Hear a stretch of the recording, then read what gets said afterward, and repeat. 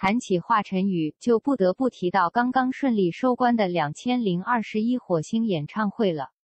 在严格的疫情防控下，演唱会依然吸引了众多歌迷来到海南，带动了经济消费，促进了海南旅游业的发展。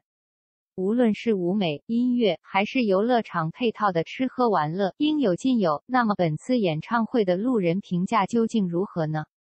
快来和小编一起看看吧。有位大兄弟陪女朋友看演唱会，结果自己入坑了。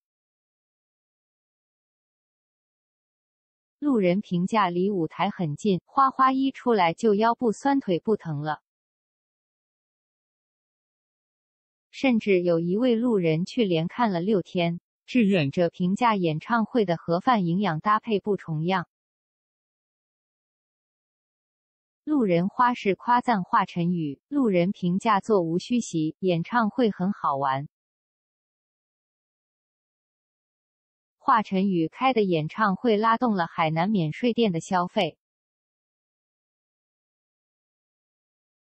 路人听完立刻转粉，路人评价舞美顶级，视听盛宴。